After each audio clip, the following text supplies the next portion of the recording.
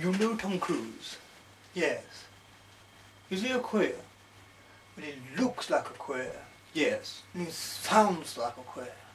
Yes. Well, if he looks like a queer, sounds like a queer, then he's probably probably queer. If he sounds like a queer, acts like a queer, then he's probably probably queer. But he's married though. Oh. So that would go against him being a queer. But he does sound like a queer. Yes, he does sound like a queer. And he looks like a queer. He doesn't look like a queer. And if he sounds like a queer, acts like a queer, he's probably a probable queer. If he sounds like a queer, acts like a queer, he's probably a probable queer. I am a member of the Tory party. Yes. I am very, very posh. Very posh. I own many estates. And I own many houses. I'm very rich. And I'm very well endowed in the property market. Yes. I'm a strong believer in the Tory party. Yes, the Tories have actually made this, this country brilliant. Yes.